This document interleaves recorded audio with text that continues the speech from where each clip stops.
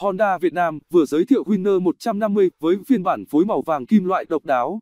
Thân xe vẫn có màu đen mờ như bản cũ, giá 46,5 triệu đồng, tăng 1 triệu so với bản tiêu chuẩn hiện tại.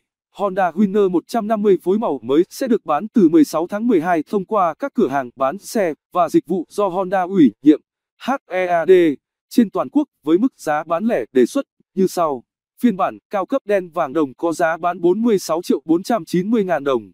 Phiên bản thể thao như trắng đen, đỏ đen, xanh trắng vàng đen có giá 45 triệu 490 ngàn đồng. Phiên bản mới này vẫn dựa trên bản được gọi là cao cấp trước đây với màu sơn đen mờ, tạo điểm nhấn bằng việc phối các chi tiết màu vàng kim loại.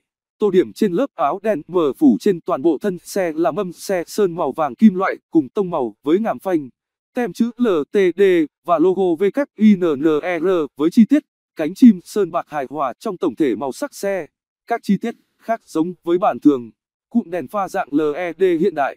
Bên cạnh đó là động cơ 150cc, DOHC hộp số 6 cấp, 4 kỳ, xi lanh đơn, phun xăng điện tử PGMFI, làm mát bằng dung dịch cùng hai bánh xe đường kính lớn, giúp xe tạo được sự khác biệt so với các mẫu xe côn tay khác cùng phân khúc. Winner 150 được ra mắt VAO tháng 4 năm 2016 tại triển lãm mô tô xe máy Việt Nam.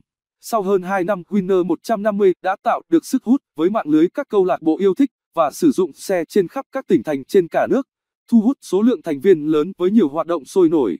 Trái với những mẫu xe bán chạy như SH, E-Blade hay Vision có giá bán cao hơn giá đề xuất, Honda Winner lại có giá đại lý thấp hơn từ 5,5 âm 6 triệu. Phiên bản cao cấp cũ hiện được bán với giá từ 40-40, 5 triệu đồng. Trong khi đó, đối thủ Yamaha Exciter 150 có giá bán từ 50-51 triệu đồng, cao hơn giá đề xuất từ 13 triệu đồng tùy phiên bản.